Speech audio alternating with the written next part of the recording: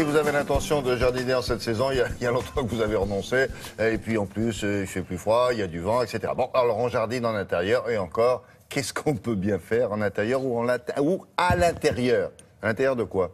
Eh bien, à l'intérieur de, de contenants en verre que l'on a ou que l'on achète dans le commerce. Et on va habiller ça avec des plantes, pas n'importe lesquelles, des plantes qui ont une croissance minimum. C'est-à-dire comme celle-ci, le ficus retusa, c'est souvent des petits ficus qui poussent très très peu parce que euh, le- l'erreur que l'on fait, que l'on fait, c'est de mettre des plantes et ça pousse, ça devient une vraie forêt vierge et il va falloir justement l'entretenir. Donc on va prendre des plantes qui poussent très très peu. Voilà, comme ce petit ficus retusa, on va le pincer une à deux fois par an maximum. Comment ça pincer? Pincer, c'est-à-dire qu'on va ouvrir le petit bocal, on va supprimer une petite feuille ici et là, et on va conserver sa forme initiale. Parce que l'intérêt, c'est d'avoir du volume. Si on a des plantes qui ont complètement monopolisé l'espace, ça devient pas très joli. Donc on va avoir des plantes qui ont une croissance minimum. ça, Avec, re- ça ressemble un peu à... Non? Ça ressemble un peu à un Ah. ficus?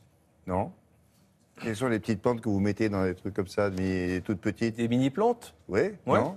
Ben, c'est un peu des mini-plantes, mais qui ont une croissance. Enfin, une mini-plante, souvent, elle peut euh, forcément au départ être mini, mais elle peut être maxi. Rien à voir avec des bonsaïs. Voilà, exactement. Ça ressemble à un petit bonsaï. Ah, quand même. Eh oui, ça ressemble à un petit bonsaï. C'est Voilà. l'intérêt de ce ficus qu'on appelle, pas le ficus benjamina, le, le ficus qu'on voit dans tous les bureaux ou dans tous les intérieurs. C'est le ficus retusa, c'est un ficus greffé Bon. qui pousse très très peu. Mais les bonsaïs, vous les mettez pas dans des, dans des, dans des flacons comme ça Non, le bonsaï, traditionnellement, on ne pas dans les flacons, mais le ficus retusa particulièrement s'adapte bien à cette conception. Alors il n'y a que des ficus dans les... Il y a du ficus, il y a d'autres plantes, euh, mais qui ont des croissances très, très, très. Parce qu'en fait, lorsque l'on regarde, on la regarde comme ça, la composition. On la regarde pas par-dessus, c'est pas très joli. Donc il faut qu'elle soit à hauteur d'yeux. Et ici, on a vraiment le paysage, c'est-à-dire qu'on a le sol, évidemment, il faut que ça soit joli. On a la mousse. Impérative, la mousse, pourquoi? Parce qu'elle va stocker l'eau et la redistribuer à la plante, créer une hygrométrie à l'extérieur. Donc tout ça, c'est vraiment technique parce qu'on arrose que une à deux fois par an, pas plus. Quelques gouttes d'eau C'est une suffisent. plante pour feignants, ça. c'est- Exactement. Il faut, il faut quand même le concevoir et à après, on n'a plus qu'à poser et à admirer.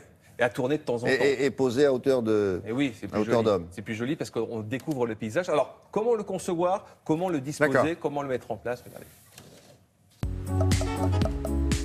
Au cœur de Paris, une boutique a priori ordinaire vient d'ouvrir ses portes. Et pourtant, à l'intérieur, c'est un véritable cabinet de curiosité. Ici, tous les végétaux sont enfermés dans des bocaux. Le concept, c'est de proposer des plantes avec un entretien extrêmement simple. Ce sont des environnements autosuffisants. C'est-à-dire qu'on peut avoir une plante chez soi sans y apporter d'entretien particulier euh, pendant quelques mois ou, euh, ou même quelques années.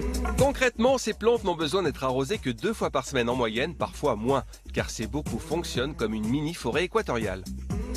Je choisis des plantes qui apprécient un environnement assez humide. C'est souvent des ficus ou euh, des poivriers du Japon, des phytonias, des fougères, des plantes qui vivent dans la jungle généralement ou dans les environnements euh, tropicaux. À partir de 30 euros, vous pouvez vous offrir ces plantes et pour les plus manuels, vous pouvez construire votre petit univers grâce à ce kit disponible partout en France. Maintenant, je vais vous montrer comment réaliser un petit jardin de verre. Première étape, on incorpore la roche volcanique. Alors, petite astuce pour l'application des graviers fins, il faut faire tourner le bocal pour qu'il soit disposé le long des parois de cette manière. La troisième étape, c'est d'incorporer la terre à l'ensemble. La quatrième étape, c'est d'incorporer la star de la composition, le ficus microcarpa. L'astuce, c'est d'appuyer un petit peu pour qu'il soit positionné bien au milieu du bocal et pas trop haut. C'est presque terminé. Il reste simplement à rajouter un tout petit peu d'eau en la laissant couler tout doucement, de la manière la plus diffuse possible. Par la suite, il faudra rajouter de l'eau environ une à deux fois par an quand la mousse commence à jaunir. Et voilà comment réaliser en moins de 10 minutes une composition végétale autonome que vous pouvez admirer de nuit comme de jour. La plante n'a pas besoin de grand chose pour survivre dans un bocal. Elle a déjà tout ce qu'il lui faut à l'intérieur en réalité. Il y a de l'eau qu'on lui a apportée au départ, qu'elle prélève dans la terre. Elle l'émet ensuite sous forme de vapeur d'eau qui se condense sur les parois et qui retombe à l'intérieur de la terre pour être ensuite réabsorbée. Il lui faut également de la lumière euh, et c'est très important pour les personnes qui ont ces compositions-là de les mettre dans un niveau de luminosité assez important pour qu'elles puissent émettre de la vapeur d'eau, émettre de l'oxygène par le biais de la photosynthèse. Des plantes plus épanouies dans des bocaux qu'en pleine nature, c'est surprenant mais ça marche, comme ce ficus qui n'a pas été arrosé depuis 3 ans. Je suis plus que surprise que des plantes puissent vivre aussi longtemps sans arrosage dans des pots. Je pense que je vais l'offrir à quelqu'un qui n'a pas la main verte parce que ça ne nécessite aucun entretien, c'est décoratif et c'est une présence végétale euh, dans la maison que je trouve magnifique. De la lumière, un peu d'eau chaque année, une ou deux gouttes d'engrais, et puis c'est tout. Les plantes se suffisent à elles-mêmes. Magique, non?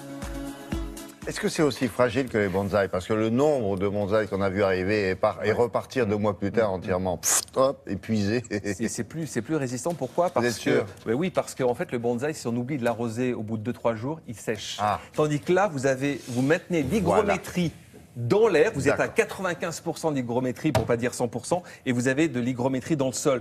Donc la plante est protégée justement de la Mhm. Bon. sécheresse que l'on découvre, Eh ben, que l'on a souvent dans les c'était la appartements. réponse du spécialiste. Voilà. Merci, nous sommes rassurés. On va maintenant parler mode avec une exposition londonienne qui revient sur l'évolution d'un accessoire indispensable.